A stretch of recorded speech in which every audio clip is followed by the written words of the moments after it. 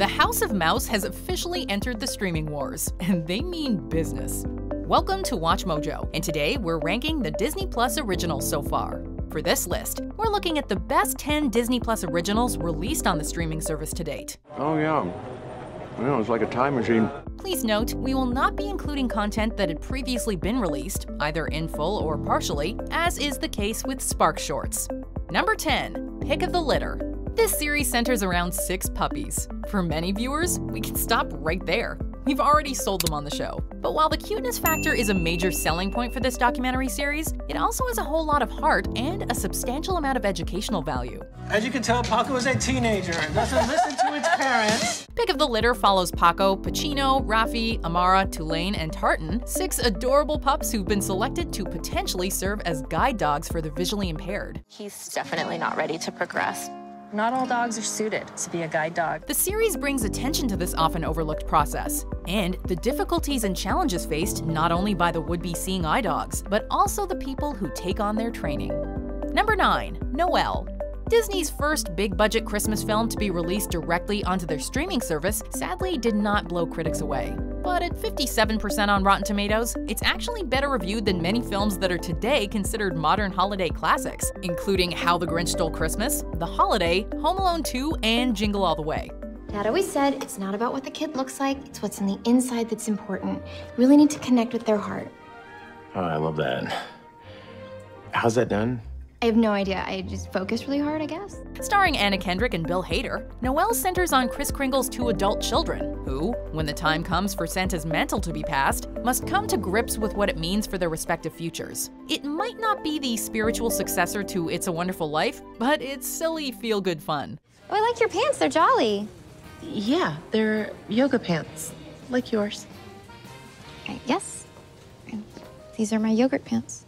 And come Christmas time, that's often more than enough to help get you in the holiday spirit. Which is why I know that we have a real Santa right here in the pole. My sister, Noelle. What? Number 8. Encore. Disney might be best known for their scripted content, but as they venture into the world of streaming services, they're trying to give subscribers a little bit of everything. A nut comes in to make your bed. Hang on, hang on. Let's do that again. Mrs. Greer, you just, it's a walk and talk. Encore is a reality series that sees host Kristen Bell reuniting the casts of real world high school musical productions for, well, an encore. Each episode, a different group is brought together to replay their roles from high school productions of famous musicals like Annie, Grease, and Oklahoma.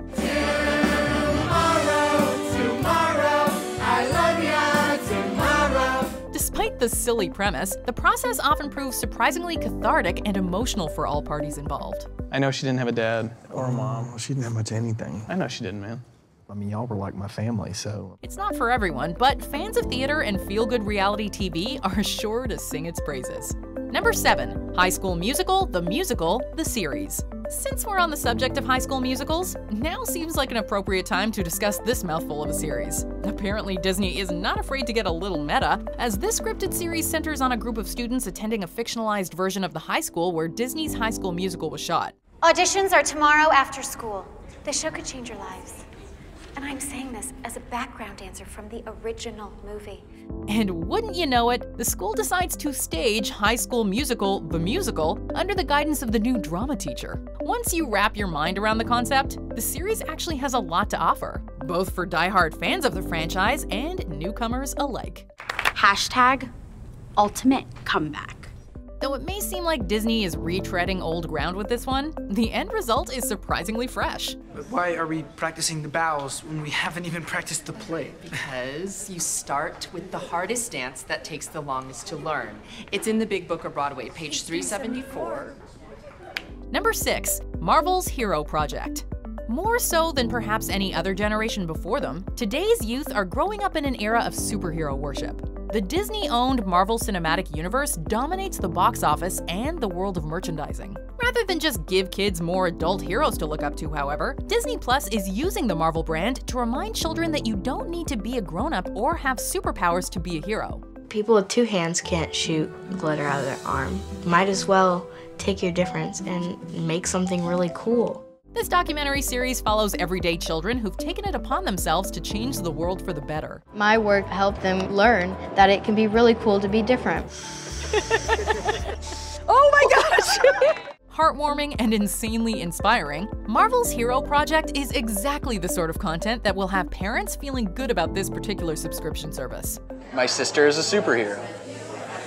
She already was, but like, now we have proof. Number 5. The World According to Jeff Goldblum. Just hand Jeff Goldblum a phone book to read out loud, and people would gladly hang on his every word. But have him tackle various everyday subjects that interest him, and you've got the makings of some seriously fascinating TV. I mean, the athlete has to take a look at this, say, oh, here's the shoe, and go, I like it already. I haven't even felt it on my foot, but I like the way it looks. I think this is going to be, hmm.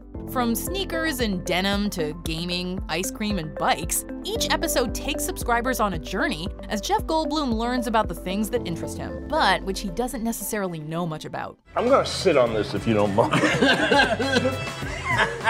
What's that do? It warms it up. what happens when you sit on something, man? I've never sat on a tub of ice cream. Quirky, rife with tangents, and just a whole lot of fun, this series might not be the most educational docu-series ever made, but Goldblum's enthusiasm is more than enough to get you hooked. Uh, when you look at this, maybe you see a, a torch that lights the way into a, a brighter future. Number 4. Lady and the Tramp. Disney is seemingly intent on remaking all their classic films. Unfortunately, few have managed to match the quality or timeless charms of the originals. No, no, don't, don't, don't. Please, those are fragile. Don't, don't. Well, that's too bad, what a shame. Not every remake needs to be a massive production, and we think that Disney made a really good choice in sending Lady and the Tramp straight to their streaming service. To be clear, that's not to say it's a bad film. In fact, at 65% on Rotten Tomatoes, it's been better received than Dumbo, The Lion King, and Aladdin. You know, street dogs, they're just like us. They just aren't lucky enough to have homes. That's all. Then it's a darn good thing you made it back to yours. Lady and the Tramp is just more of a small scale, intimate story. One that doesn't scream must see in theaters. Watched from the comfort of your own home, however, it's a great little film with a pitch perfect voice cast. He's a street dog! No, he's not. He has a home. Number 3. Togo. Few companies can attract talent quite like Disney. Case in point, we never really thought we'd see living legend Willem Dafoe starring opposite a dog on a movie poster, but there you have it. What does he bring to the breed? The heart of a survivor. Togo tells the real life story of Leonhard Seppala, who in 1925, alongside his lead sled dog Togo, risked life and limb to deliver medicine to the town of Nome, Alaska. Dafoe has already earned himself ample praise for his committed performance. He's too old. He'll never make that distance. Got one more in you, pup. And while dog centric dramas tend to be overly sentimental or unabashedly sappy, based on what critics are saying, it seems that screenwriter Tom Flynn struck a perfect balance of emotion, self seriousness, and heartwarming moments. Of course, the epic visuals don't hurt either. Number 2. The Imagineering Story. Die hard Disney fans? This one's for you. That being said, the magic of this documentary series is so potent, it could convert even the most cynical of subscribers and inspire them to visit the Magic Kingdom. We hope that through our television shows that you will join us and take part in the building of Disneyland, and that you will find here a place of knowledge and happiness. Tracing the history of the Disney parks around the world, beginning with Disneyland in California, the Imagineering story goes behind the scenes to explore the many ups and downs, successes, and failures the company has experienced over the decades, while also taking a closer look at the ride and attraction design process. Pirates of the Caribbean.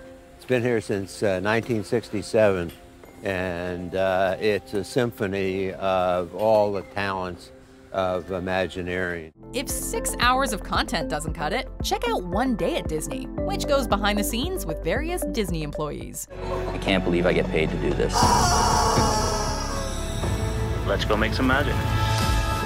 So, what about you guys? Which Disney Plus original has made the streaming service most worth it for you? My guess is you'll say the show that we've got at number one, and if not the show, one specific adorable character. But let's make our way through the honorable mentions before we see our top pick. What is a friend? What is art? What is time? Time can be future or past. nope, I'm still lost. I'm trying to beat my personal record. It's five seconds. Run around the whole entire building. Go.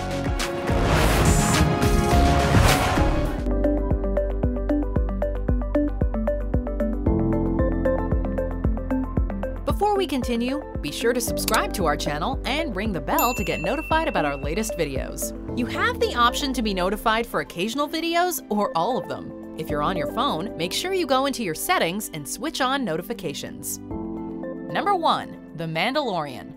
It's been called the top TV show in the world. Not only has The Mandalorian dethroned Stranger Things as the most watched original streaming series, its global popularity in terms of demand eclipses even that of Game of Thrones. Although I acknowledge that bounty hunting is a complicated profession. So, all things considered, it's only natural that this landmark series take the top spot on our list today. Draw their fire, I'll take it out! Acceptable. Go! The first live action Star Wars series has expanded the already massive franchise in unexpected and exciting ways, delivering new original stories in a galaxy far, far away. You need to drop your rifle. I'm a Mandalorian. Weapons are part of my religion. Then you are not getting your parts back. Fine. Great production values, a compelling lead character, and of course, Baby Yoda have made The Mandalorian the streaming service's biggest selling point. Do you agree with our picks? Check out this other recent clip from WatchMojo, and be sure to subscribe and ring the bell to be notified about our latest videos.